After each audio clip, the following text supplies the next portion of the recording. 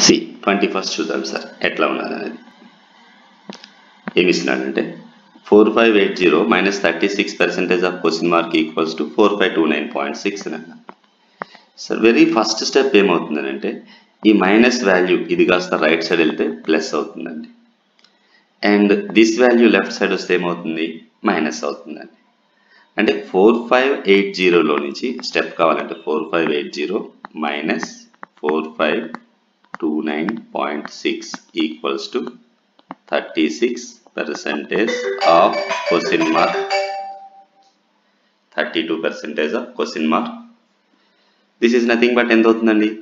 C four five eight zero నుంచి four five three zero తీసేయండి sir అంటే ఎంత అవుతుంది మనకి? థర్టీ తీసేసాం అనుకోండి సార్ ఫిఫ్టీ అంటే fifty point four equals to thirty six percentage of question mark C thirty six percentage of question mark అంటే ఇక్కడ ఏమవుతుందని అంటే మనకి క్లియర్గా కానీ అబ్జర్వ్ చేసినట్టయితే so first of all as యూజువల్గా మనం సింప్లిఫై చేద్దాం. ఏంటి అనేది?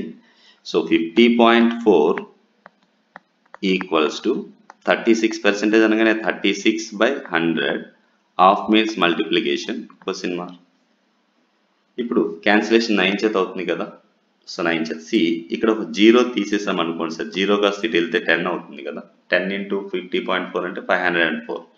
This can be return as లేకపోతే five zero four zero equals to thirty six into question mark. మొత్తం మల్టిప్లై చేసేస్తున్నామండి. ఒకటి ఎందుకు? సో తొమ్మిది చేత క్యాన్సిల్ చేద్దాం సార్. తొమ్మిది నాలుగుల ముప్పై ఆరు తొమ్మిది ఐదుల నలభై ఐదు తొమ్మిది ఆరుల యాభై నాలుగు. అగైన్ ఫోర్ చేత క్యాన్సిల్ చేద్దాం. ఫోర్ వన్ జా 4 ones are 4 fours. So 140 equals to 1 into question mark and a question mark. So 140 is the right answer. 140 is the right answer.